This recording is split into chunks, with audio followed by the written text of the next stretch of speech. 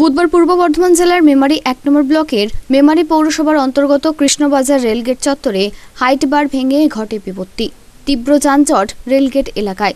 স্থানীয় সূত্রে জানা যাচ্ছে, গভীর রাতে কোনো এক ওভারলোড গাড়ি ভেঙে চলে যায় হাইট বারটিকে। হাইট বারটি ভেঙে যাওয়ায় ওই রাস্তাটি ব্যাপক যানজটের সৃষ্টি হয়। ওই রাস্তাটি মেমারি হাসপাতাল থেকে শুরু করে বিভিন্ন স্কুলের মুখ্য পথ তাই সর্বদা এমন যানজট থাকার ফলে ওভারব্রিজের দাবি জানাচ্ছেন এলাকাবাসীরা।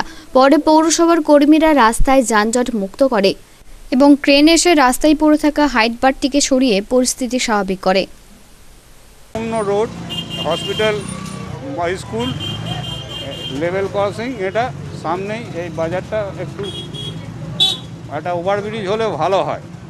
এইটা কখন হয়েছে? এটা রাত্রির দিকে হয়েছে। আমরা তখন এখানে কেউ ছিলাম না সকালে এসে দেখছি এরকম হয়েছে। এখন কি চাইছেন? এখন প্রায় দুর্ঘটনা হচ্ছে। প্রায় দুর্ঘটনা মানে কি জাম লেগে থাকছে জাম হয়ে যাচ্ছে। এইখানে আমরা ডিউটি আসার পর দেখলাম আটটার সময় এসে দেখছি এই- এই দুর্ঘটনা গেটটা উপরে রেল গেট ছিল রেল গেটটা ওভার গেট ওভার গেটটা ভেঙে পড়ে আছে।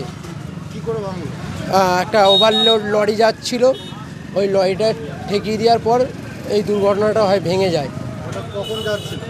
রাত একটা দেড়টা নাগাদ। আচ্ছা এখন কি খুব এখন যানজট হয়েছে? জাম ছিল কোনো রকম আমরা ডিউটি আসার পর জাম পরিষ্কার করে দিয়েছি। আপাতত এখন কোনো রকম রেলগেটে অতটা জাম নেই কোনো ঝুটঝাটও নেই। না না কোনো রকম দুর্ঘটনা হয়নি।